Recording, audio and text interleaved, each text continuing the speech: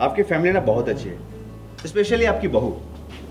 देखिए ना, कितने प्यार से अपने पति को खाना परोस रही है। कहाँ मिलते हैं ऐसे संस्कारी बहुएँ आजकल देखने के लिए? और मैं अपनी वाइफ से इतना प्यार करता हूँ कि मैं चाहता हूँ कि वो हमेशा मेरे पास ही रहे। क्यों, शानी? है ना? देखो खाना प्रोडक्शन ने मंगाया था।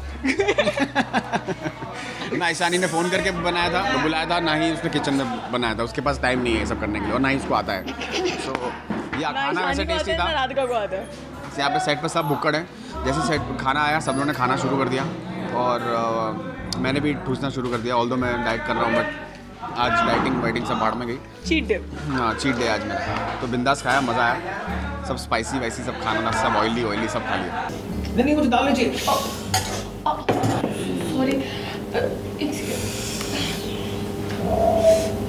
सारे जलन हो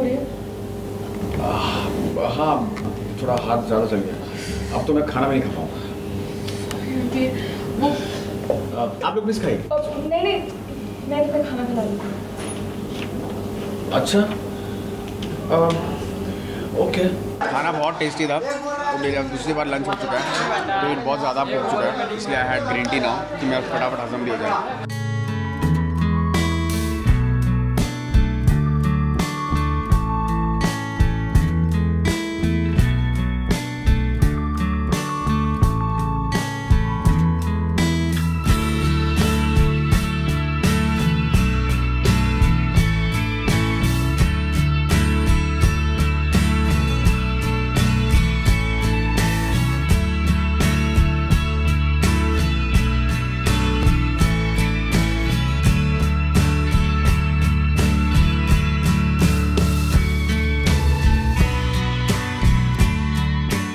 यहाँ पे हर चीज़ में रोमांस देखने को मिलता है। सीरियल का नाम है मेरी आशिकी। तो आशिकी के बगैर तो फिर मतलब लगता ही नहीं है। वेडिंग नाइट वाला एक सीन था जो बहुत कॉमेडी भी था और रोमांटिक भी था। दोनों उसमें मिक्सचर्स थे।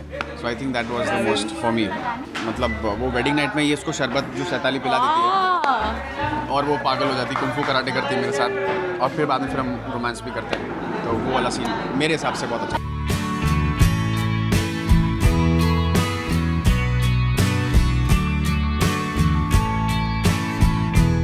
रणवीर तो रोज़ खाना खाता है बट uh, लेकिन हाँ उसको मतलब मज़ा आ रहा था बिकॉज़ ईशानी की वो मतलब टांग खींच रहा था क्योंकि उसको सॉरी बोलना था ईशानी को और इसलिए उसको मज़ा आ रहा था कि वो उसकी उसको टेस्ट कर रहा है। Okay thank you so much for loving and supporting us and shame to shame shame to shame and everything that we are because of you and keep watching Meri Aashiqui Tumse Hi and keep supporting allow and keep tolerating him bye